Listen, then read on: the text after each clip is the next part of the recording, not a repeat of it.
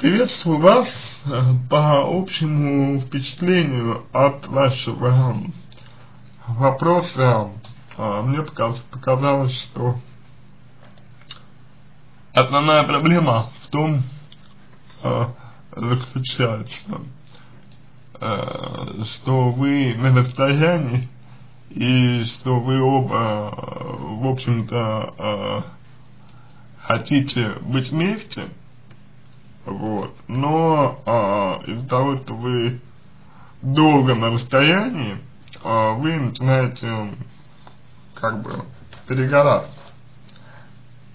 Такое бывает, это, в общем-то, э, довольно частое явление, что люди вместе, они общаются, взаимодействуют, и когда уже какое-то время проходит, когда уже подходит момент для того, чтобы э, быть вместе, люди начинают, начинают бояться вдруг человек, которого я, например, допустим, любил, или, или человек, который был для меня дорог, а вдруг этот человек окажется совсем, ну, не тем, кем я представлял его, и в итоге я разочаруюсь. И я ведь этим жил, очень долго жил, да, вот, и, соответственно, возникает такое вот подспудное желание этого человека оттолкнуть, чтобы а, все осталось, ну, вот, так, как было. То есть, чтобы все осталось, осталось а, так, чтобы а, не были, не были, не были, не были вы вместе, в общем. Вот. То есть ситуация здесь, она довольно такая, может быть, не, не стандартная, я бы не сказал, что она прямо стандартная, но э, не, не необычная. Вот. То есть для э, людей, у которых э, отношения на расстоянии э, подобные проблемы, к сожалению, нередко, не редкость, и, в общем-то, э, вы еще даже молодцы, что ну, вы довольно долгое время э, не ссорились. А могло бы быть все по-другому, и, и могли вы э, ссориться изначально. Хотя вы говорите, что какие-то моменты были у вас неловкие. Это первое. А, второе. Значит, второе, это то, что а, касается ссор. Значит, а, здесь, во-первых, нужно сказать обязательно такую вещь, что, что а, если вы ссоритесь, то в этом всегда ответственность э, несут поровну оба человека, и вы, и он. То есть, да, он не прав, что обвиняет только вас. Он не прав, безусловно.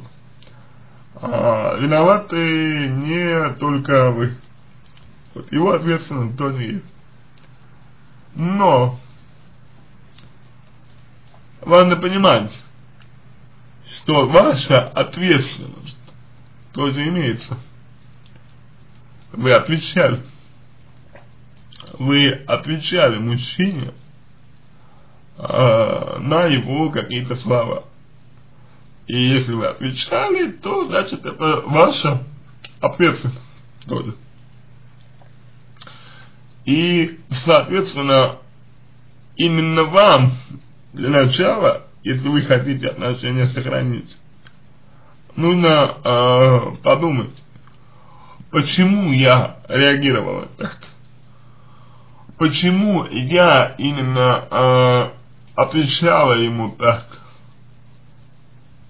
что заставило меня так отвечать, э, ну вот, мужчине. То есть это вот эм, такие важные, важные моменты, да, если мы говорим именно вот конкретно о том, кто здесь не прав, кто в этой ситуации вообще не прав, кто в этой ситуации виноват, да, вот классическая схема, кто виноват и что делать, вот. А, значит, э, и исходя из этого, исходя из этого, можно, в принципе, сделать вывод, на мой взгляд, а, на мой взгляд, несложный вывод о том, что вы оба были неправы. И если мы берем это за аксиому, то вы оба были неправы. То вам нужно э, начать первый того, чтобы определить свою ответственность в этом. То есть, что это значит? Я, я сказал, да, что это значит, я сказал. Вот это что-то вам нужно. И если, э, в принципе, в принципе, первый вам писать не нужно, безусловно, э, ему теперь, после того, как вот произошло все то, что произошло, а, вот, а, то в случае, если он напишет сам вам, вот, то вот в этом случае, конечно, нужно э, сказать ему, что вы не правы были там, ну, в этих вот э, ситуациях не правы были, что отвечали ему как-то неправильно, да, что, в общем-то, вы понимаете, что не надо было так, не так делать. Кроме того, э, вы говорите о том, что он начинал э, разговоры а, неприятных. И опять же, я согласен с вами. Я согласен с тем, что он начинал разговор. Э, я согласен с тем, что это делал он. Но э, вы же отвечали. Вас никто, никто не заставлял отвечать. Вы отвечали. И тем самым провоцировали все. Я не говорю, что вы начинали. Но вы ее и не, и не завершали. И именно в этом и заключается проблема, что вы по какой-то причине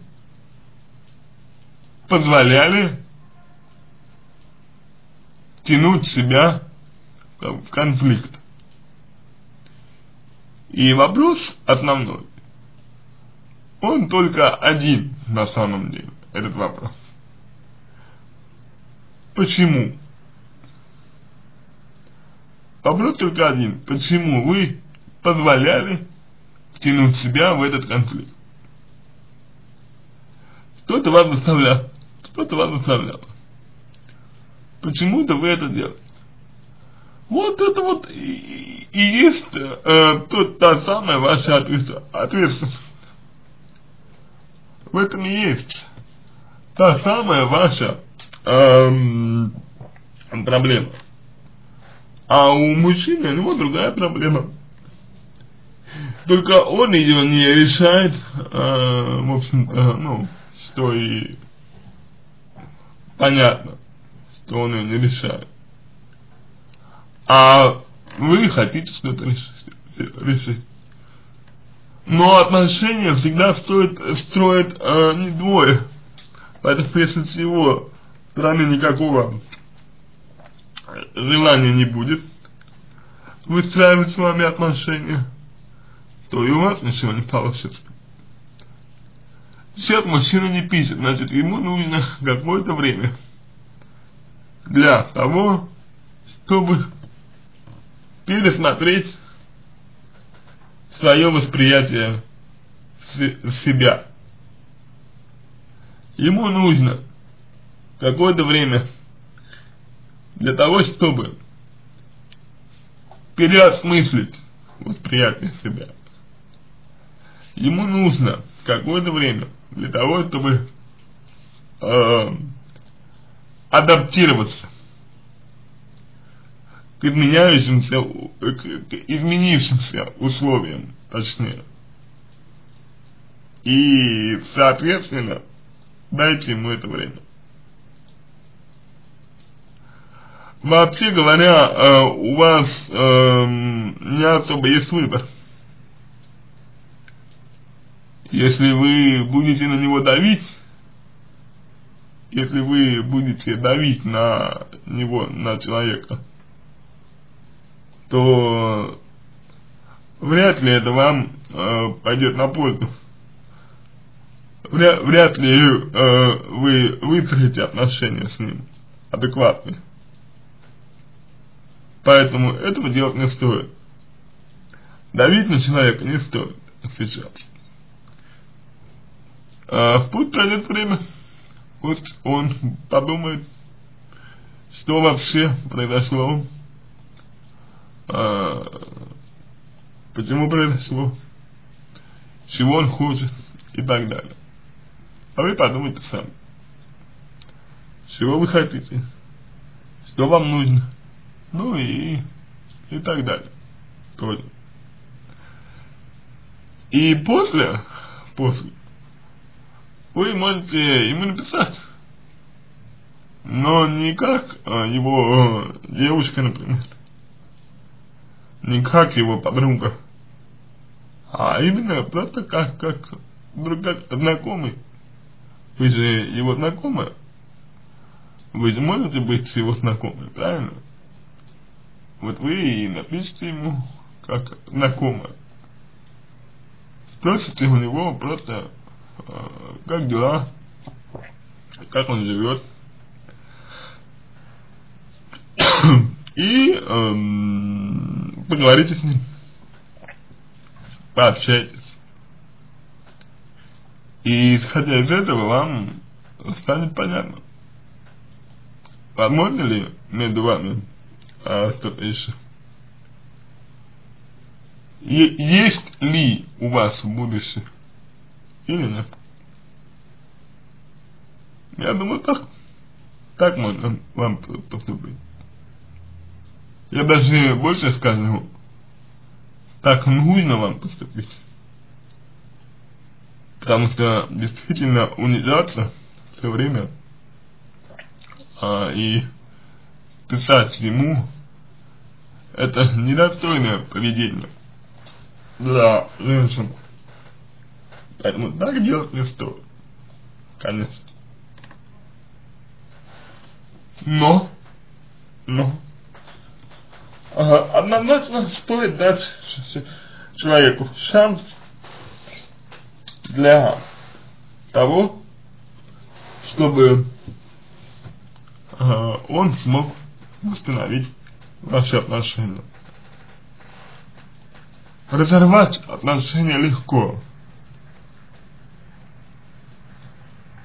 Построить сложно.